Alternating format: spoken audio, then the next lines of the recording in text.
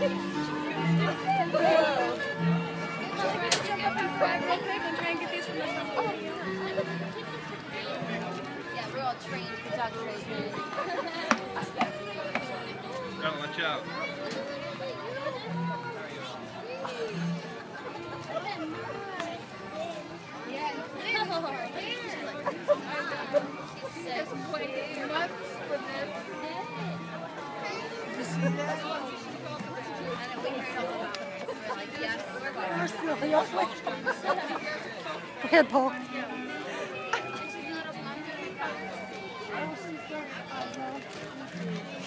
Oh, she loves you.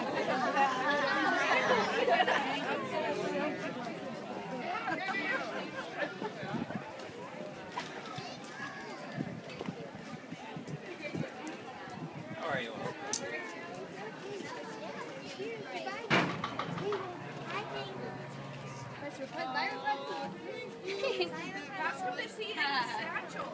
She's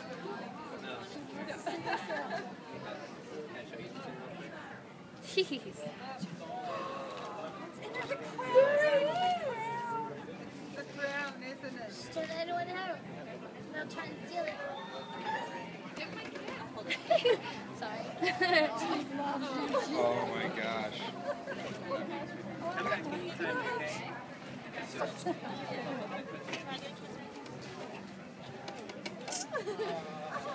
で